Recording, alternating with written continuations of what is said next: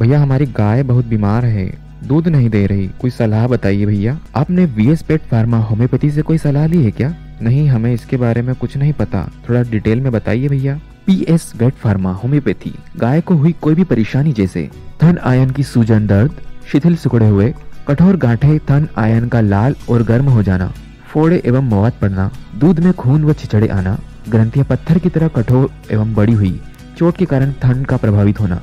ये सभी मस्टाइटिस यानी थनला रोग के लक्षण हैं। मस्टाइटिस होम्योपैथिक मेडिसिन दुग्ध स्त्राव को दुग्ध ग्रंथियों में सक्रिय एवं नियमित करता है। थनों की सूजन पुरानी होने लगे। थनों के टिश्यू कठोर हो जाने पर मस्टाइटिस कड़ेपन को दूर कर कोशिकाओं को सक्रिय बनाता है। जहाँ एंटीबायोटिक दवाइयाँ काम नहीं करती, वहाँ मस्टाइटिस के ज़्यादा असरकारक परिणाम प्राप्त होते हैं। यह दुग्ध ग्रंथियों को पुनः सक्रिय एवं कार्यशील बनाने में उपयोगी है। मस्टाइटिस होम्योपैथी मेडिसिन के डोजेज इस प्रकार ले सकते हैं। तो देर किस बात की? आज ही हमें संपर्क करें P S vet pharma homoeopathy.